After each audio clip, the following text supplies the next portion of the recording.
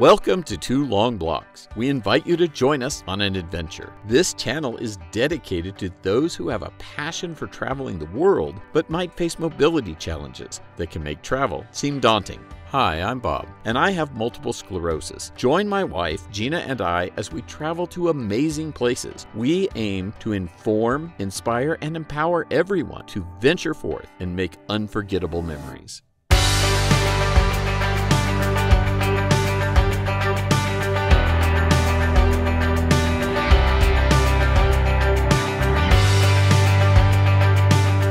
This was a quick trip for us from Durango over to Denver.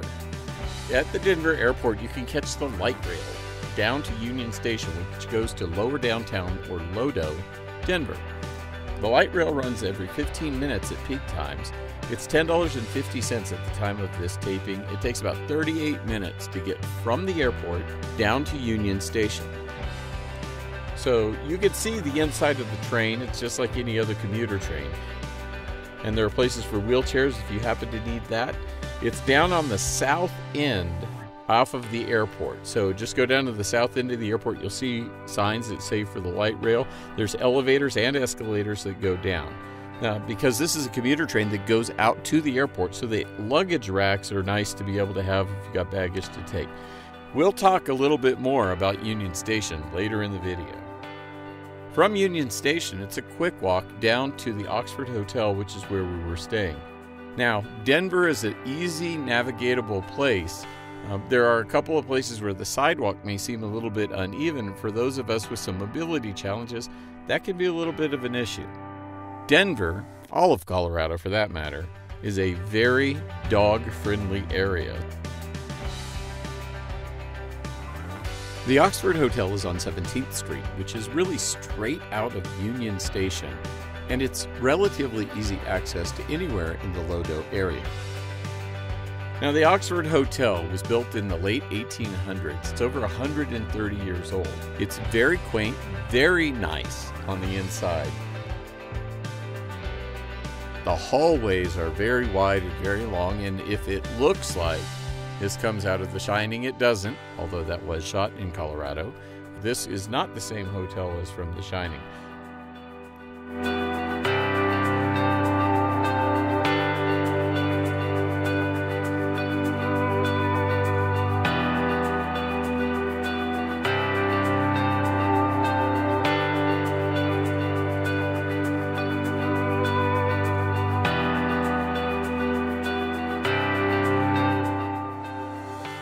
On Friday, for the first home game, we left the Oxford Hotel and we walked down 17th Street.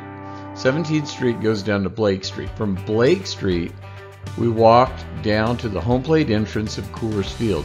Fairly easy walk, a little bit of unsteady pavement from place to place. It's kind of sloped a little bit more in certain places out towards the road, which can be a little bit more difficult to navigate.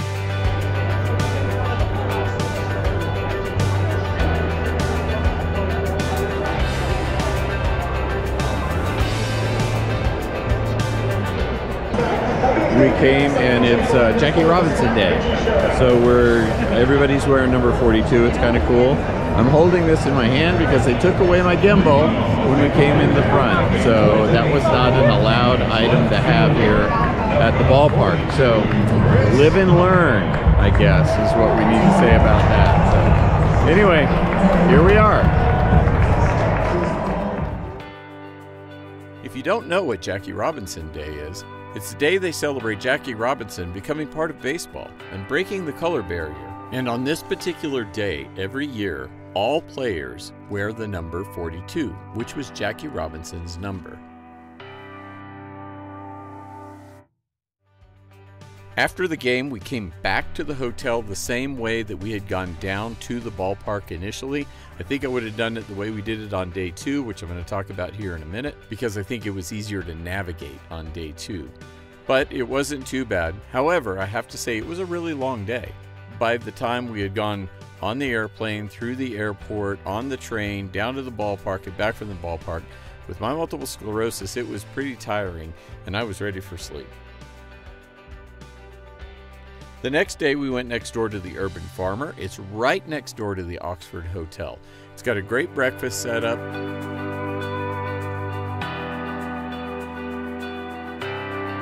This is really cool. So they have a Bloody Mary bar. So it looks like a salad bar, but it's actually just for making your own Bloody Mary. Anything you can think of peppers, pickles, bacon, celery, of course, and then Bloody Mary mix if you want it hot or not so hot.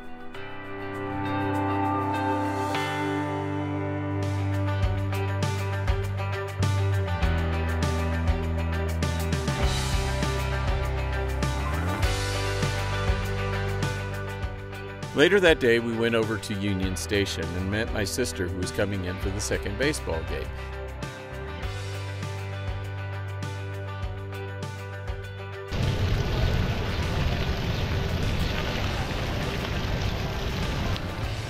Now, Union Station is a really interesting thing. So, Union Station is an old building that used to be the train station, but now it's part of the Crawford Hotel. Here's the deal it's actually private property, it's not part of the commuter system. It belongs to the Crawford Hotel. There's a number of vendors that are downstairs within Union Station where you can get coffee or you can even shop. But the restrooms are not public. You have to be a patron of one of the shops that's there inside Union Station. And of course, I needed to use the restroom, so I went over to the Pigtrain Coffee Company and I bought a pastry and I took it over to the security guards who will stop you from using the restrooms if you haven't been a patron of one of the shops inside the train station.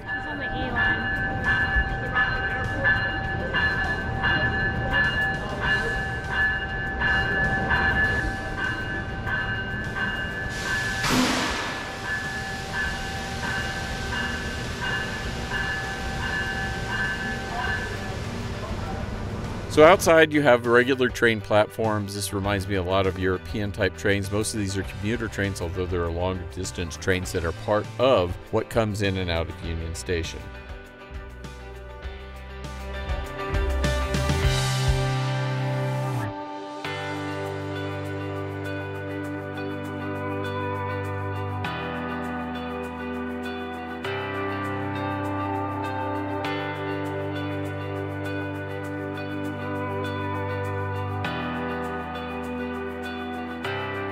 For the Saturday game, we walked out of the Oxford Hotel and over to Wynkoop Street.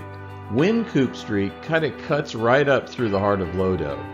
So it comes up here, there's a nice plaza, lots of bars, and then there's a bridge that cuts across the road, and you come into the third base line area or the third base entrance, which is really good because our seats are right in here at the club level. Again, once you're inside the park, there's elevators, it's easy to get around, just take advantage of what's there. Walking up Wynkoop Street was actually pretty easy. It's a little more steady, I think, than going up Blake Street in terms of being able to navigate and get around the way that we really wanted to, or the way that I needed to.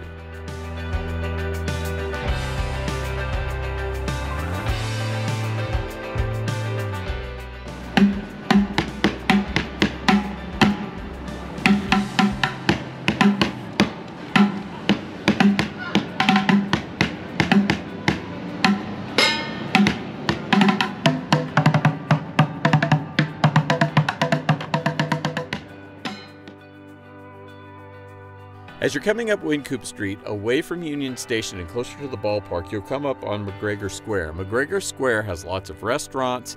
It's kind of part of the heart of lower downtown or Lodo, Denver. So there are bars, there are restaurants, lots of places to stop before you're going to go into the game. And then you come in across the bridge that comes over 20th Street.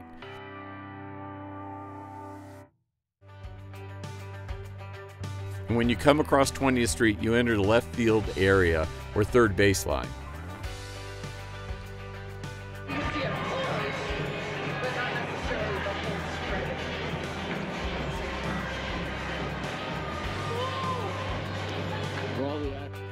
Now, generally, when we go to see a ball game at Coors Field, we like to get on the club level. It was really kind of interesting. Actually, a level up at the club level has less expensive tickets than if you're at field level, which really kind of surprised me the first time we did it.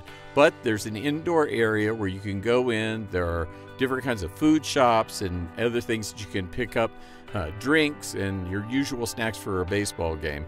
But there's actually bars on the inside, and I have to also say that the restrooms on this area are much nicer than what you're going to find any other area of the ballpark. You can use the ballpark app with your phone and you can have food delivered to your seat. We found that to be a little bit more expensive than we wanted to pay. But the other is if you're on club level, you have the ability to get in out of the weather if you really want to. And the days we went to these ball games, it was pretty cold outside. Another thing that's really kind of in this area, just over third base or over the dugout on the club level, is the whole control room for Major League Baseball and the Colorado Rockies. So if you want to see how the television production is done, this is really kind of a cool thing to watch all of the work that's being done during the game. Take me out the crowd,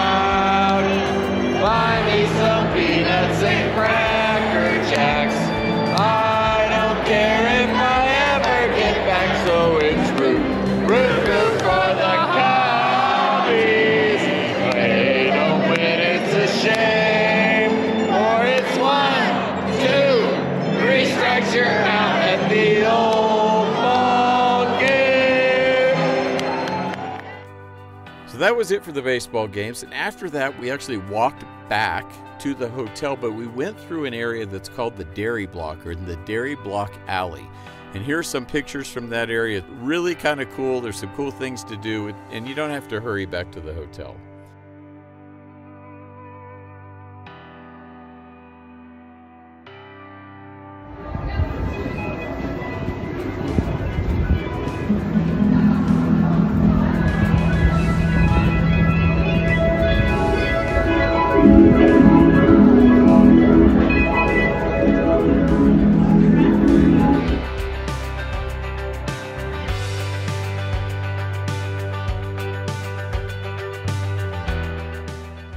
Then the next morning, back out to Union Station, onto the commuter train, straight back out to the airport.